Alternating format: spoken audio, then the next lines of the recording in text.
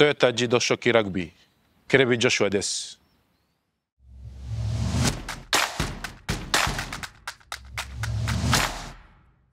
僕フィジー出身なんででフィジーでほぼラグビー一番人気なスポーツででも小学校で最初サッカーやってて6年生の後あの違う学校にでそこサッカーなくてラグビーとても人気だってでそこから始めてた同じ目的を目指してチームスポーツできるのは一番楽しいね。でもコンタクトも結構楽しいね。もっとスペースある中でもっと選手たちは多分もっと自由に動けると思いますね。身長ある中ででもキックオフとかあのボールしてるとこはそれとフィジカルの部分もオフロードパスあのタックルで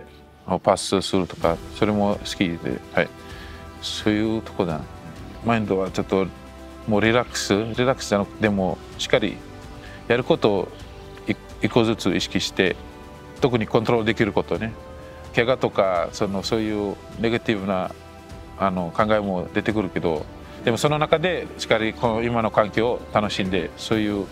今そのそういう意識でやってる。自分のベストできるように本当にも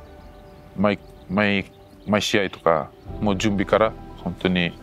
しっかり自分の持ち味を出せるように頑張りたいと思います。日本でラグビーと勉強できるからそうラグビーだけじゃなくてそれは大事と思うのでだからその両方できるようにでそれを自分の地元でもそのそういう人たちにそういうあの影響とかあの与えあの与えたいね。Inspiring the future through rugby.